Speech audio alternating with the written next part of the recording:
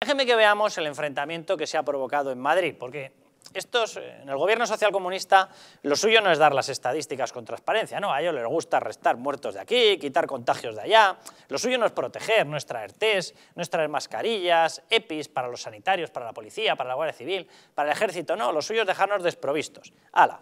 Ahí estáis, ahí os las den todas. Ahora, esto de atacar al rival esto de atacar, porque para ellos prácticamente no es rival, es enemigo, enemigo político, esto se les da muy bien. Bueno, entonces han ido a buscar el tema del apartamento que había utilizado Isabel Díaz Ayuso, la presidenta de la Comunidad de Madrid. Pero déjenme antes que les dé un contexto de qué es lo que está ocurriendo. Vamos a escuchar, por un lado a Simancas, vamos a escuchar por el otro lado a Isabel Díaz Ayuso. Dos posicionamientos y entramos en el tema del apartamento. Atención. Están aprovechando la mayor crisis que ha vivido la historia reciente de España para imponer un mando único dictatorial y esperen a que la gente salga de la calle, porque lo de Núñez de Balboa les va a parecer una broma. Vamos a hablar con claridad.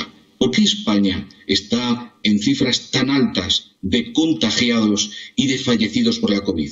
Porque en España está la Comunidad de Madrid, que es la tercera región del mundo en letalidad por el coronavirus. Dentro de poco se va a comer la webcam, por cierto, vamos, se lo va a poner el, objetivo aquí.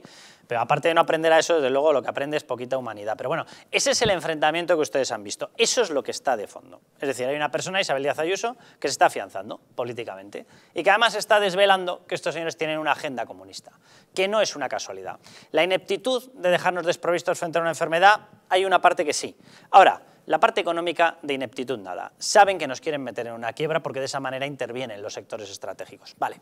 Y la otra parte ahí la han visto. Con Rafael Simancas, pues ahí la han visto clarísimamente. La culpa la tiene Madrid. La culpa la tiene Madrid. ¿No tenían ustedes el mando único?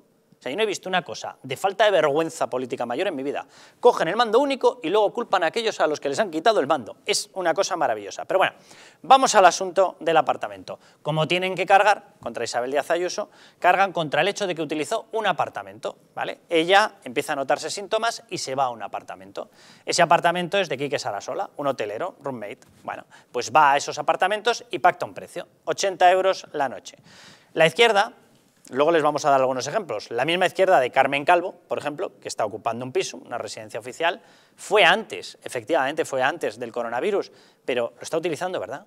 ¿Lo está pagando de su bolsillo? No, porque tiene residencia en Madrid. ¿Por qué la usa? ¿Vale? No tiene ninguna justificación, pero la usa. Porque es un piso muy, como diría Gabriel Rufián, muy pijo, muy pijo, muy cómodo. Como diría Echenique, de clase alta como diría eh, más gente del Partido Socialista y de Podemos, de los cacerologolfistas, ¿vale? Un piso de los cacerologolfistas, ¿vale? Y esto le mola a la izquierda.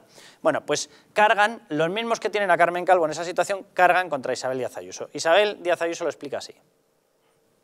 Es que la mejor oportunidad, la mejor opción para no molestar a mis vecinos, para no molestar a mi equipo, y para, de mi bolsillo, porque no es el erario público el que se ha puesto por medio, seguir trabajando con unas garantías dignas para el cargo que yo estoy ostentando en este momento. Jesús Ángel se va y se lo paga ella. Eh, ¿Cuál es el problema?